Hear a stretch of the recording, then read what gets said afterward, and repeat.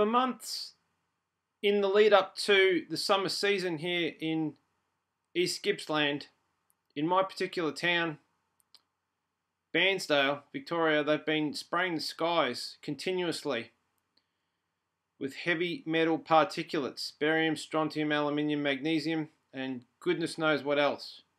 And all of that falls out from the sky onto the foliage and the trees, the flora, the fauna, and human beings, and it lands on every living structure in the bush and every man made structure. And that accumulates over time.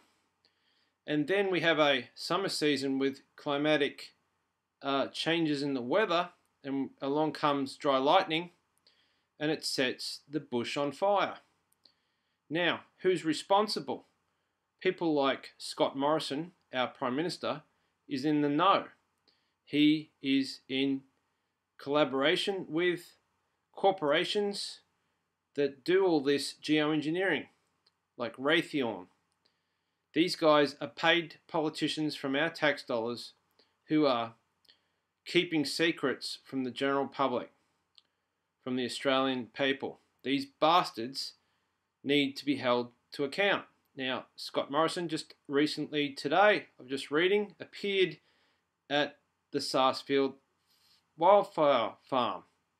If I was there and I got to meet that guy face to face, I'd punch him in the nose. What an utter disgrace he is to the Australian people. There is no public disclosure on geoengineering because if there was, then good minded thinking Australians would storm Canberra and drag these politicians out and lynch them and burn the place down, literally, if this had the public disclosure that it needs. These politicians are paid to keep silent. They know full well that these programs are being run in Australia and globally, and yet there is no, like I said, public disclosure. There's no discourse, there's nothing. And this is why the forests are so highly flammable, not only from the fact that we have drought and there is uh, no water in the ground with their scientific measurements, it's all of the foliage is covered in uh, exfoliant,